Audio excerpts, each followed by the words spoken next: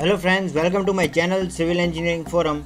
Today we are going to learn something about physical property of material known as coefficient of softening.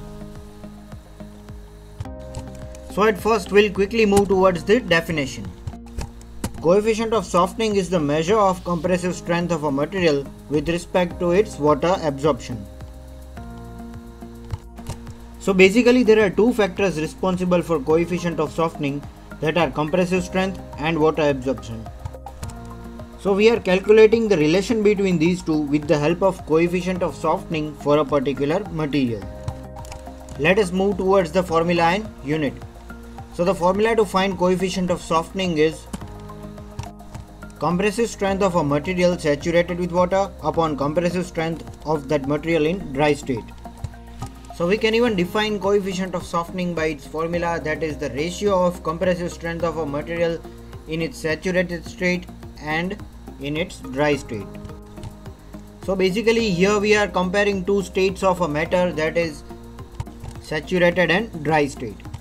So here we are checking the effect of absorption of water on the compressive strength of a material. So more is the coefficient of softening, less will be the effect of water absorption on compressive strength. So we'll see some examples for the coefficient of softening and it is unitless. The examples are as follows.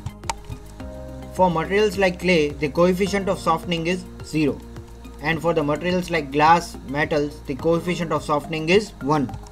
So as we discussed, more is the coefficient of softening, less will be the effect on the compressive strength due to the absorption of water. So on the materials like glass and metals, there is no effect on the compressive strength due to absorption of water but if the material is like clay then the compressive strength will decrease with the increase in the absorption of water. So this was all about physical property of material known as coefficient of softening and thank you for watching.